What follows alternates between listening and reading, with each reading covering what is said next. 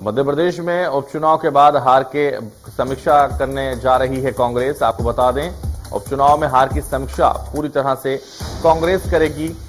हार की समीक्षा के लिए पीसीसी एक कमेटी का गठन करेंगे। हार की समीक्षा के लिए पीसीसी एक कमेटी का गठन करेंगे, आपको बता दें। और नेताओं का नाम तलाश कर रिपोर्ट करेगी पेश। तो उपचुनाव में हार की समीक्षा अब कांग्रेस करती हुई नज़र आएगी मध्य प्रदेश में, जिस तरह से दो विधानसभा, एक लोकसभा सीट हाथ से निकल गई। और अब ऐसे में हार की समीक्षा की जाएगी दावे ज़रूर किए जा रहे थे, लेकिन स्थिति अभी भी नहीं सुधरी है। रेगांव पर ही सीमित रहना पड़ा है और नेताओं का नाम तलाश कर रिपोर्ट पेश करने का काम अब कांग्रेस करेगी। हार की समीक्षा की जाएगी और चुनाव में हार की समीक्षा अब कांग्रेस करती हुई नज़र आएगी। तो उपचुनाव में हार की समीक्षा यहाँ होगी, क्योंकि जिस तरह से जो रिज़ल्ट रहे, जो हालात रहे, उन सभी बिंदुओं पर हर एंगल से समीक्षा की जाएगी और उसकी रिपोर्ट सौंपी जाएगी।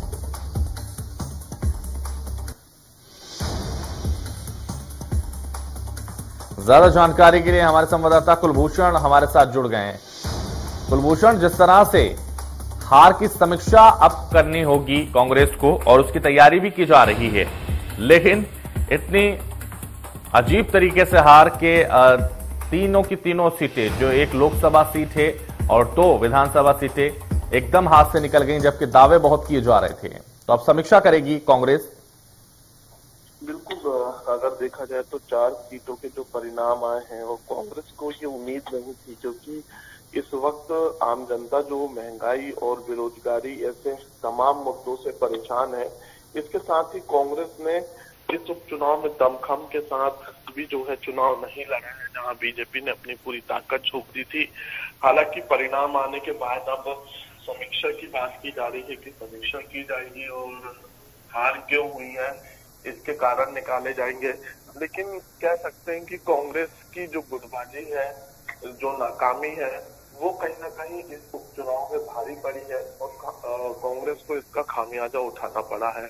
अब कमलनाथ दिल्ली दौरे पे जाएँगे और उसके आने के बाद जो है हार की समीक्षा की जाएगी कि आखिरकार जो कांग्रेस की सीट मानी जाती थी पृथ्वीपुर और जो बट रेगांव बीजेपी की सीट थी, लेकिन जो उलटफेर हुआ है रेगांव में कांग्रेस को जीत मिली है और बात जाए तो यहाँ पे बीजेपी को जीत मिली है। तो हम्म। अब हार की समीक्षा यहाँ पे की जाएगी और देखने वाली बात होगी कि क्या कारण जो है सामने निकल के आते हैं हार बिल्कुल तो देखने वाली बात होगी कि किस तरह से सब कुछ नकार कर फिर बीजेपी को प्यार मिला और समर्थन दे दिया। चलिए समीक्षा की जाएगी उसके बाद ही रिपोर्ट आएगी। चल तमाम जानकारी के लिए फ़िलहाल शुक्रिया लेकिन आप बने रहिए हमारे साथ। हम आगे भी आपसे जुड़ेंगे।